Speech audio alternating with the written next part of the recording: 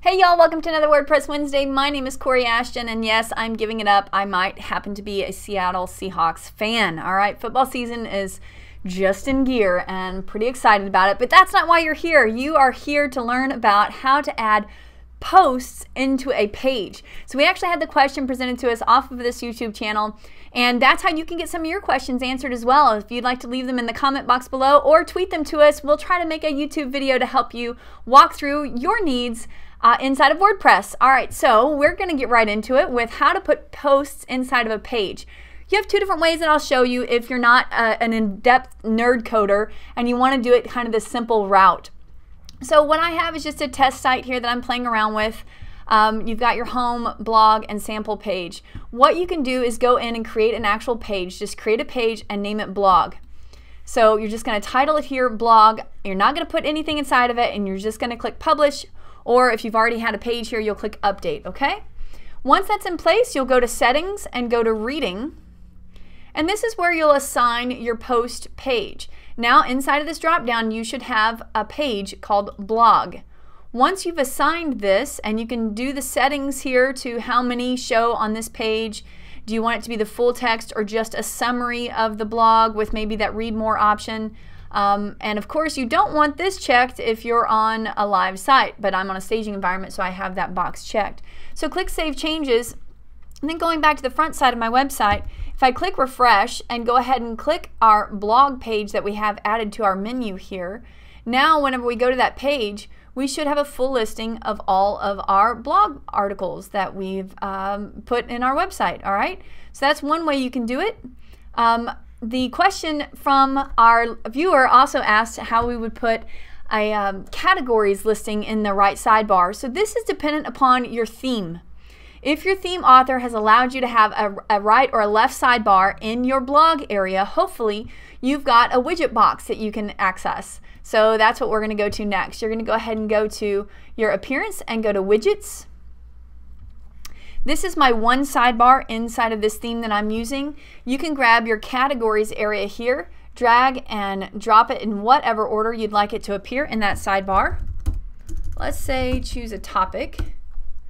And you can make some of the changes here if you'd like. Click Save. And now on the right side underneath the search bar, now I should have our choose a topic. And these would be our blog categories. If there are categories that do not have any posts in them, they will dynamically not appear here. If you'd like to make your own custom navigation over here of those categories, you can do that as well. You would go into menus area now and create a custom menu.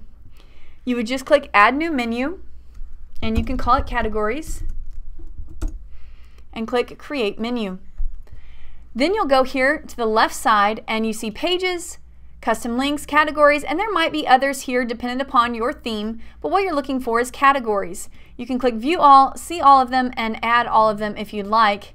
Add to menu, and then of course you can drag and drop these in whatever order you'd like them to be in, and you would click save menu. Now that you have those there, you can go back to your widgets area, and instead of adding this categories option, we'll delete that for now, we're just going to add a custom menu drop it in there, and we'll still say choose a topic, and you can select which menu. We're going to go in and get our categories and save. And then coming over here on the right side, I'll click refresh. We should have media at the top. So now we have a custom menu sitting here that will link to all the articles in each topic. Pretty simple, right? Your theme by default should have those type of capabilities. Let's say though that you have a page that already exists that maybe you wanted to write a little bit about all of these certain categories of posts. You'd like to put the posts inside of a page. You can do that as well. That is going to require either a little bit of nerd code if you know how to make a custom page template, or if you don't want to get nerdy, you can go in and use a plugin. So let's go show you which plugin I would suggest you use if you wanted to do something like this. Um, you'll go to Add New, for plugins and you're going to search just what you think it would be, posts in page. And there's this one here. It's 30,000 active installs as of, where are we now? We're in October of 2015. It was updated quite a while back, so I want you to always look for those that have been updated most recently. And of course, you can click on more details and get an idea of what it might look like inside of your website. Uh, this one requires that you just copy a little bit of shortcode. You would copy and paste this into the page, and then it would dynamically call all of your posts to appear in that area. Okay?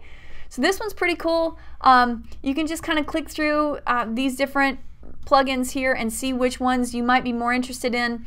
Uh, again, just clicking the more details and viewing them. Uh, I've not used any of these because typically we code from scratch and we're able to kind of nerd code those things in there. But if you're not a really involved nerd coder and you'd rather just do it the simple way, which is a plugin, you can lean on one of these to accomplish that for you. All right, I hope that helps you. Have fun putting posts inside of your WordPress pages, and I hope you check us out.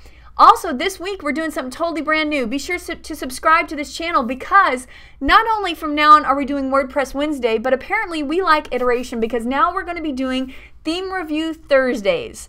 No joke. So now you're getting a two for every single week. We're going to be handing off two videos to you, one on Wednesdays, which is a wide gamut of anything you can think of for WordPress Wednesdays, beginner level to advanced. And then Thursdays are now going to be Theme Review Thursdays, where we're reviewing free themes as well as premium themes. I hope you stick around. Be sure to subscribe. We'll see you next WordPress Wednesday. Bye, y'all.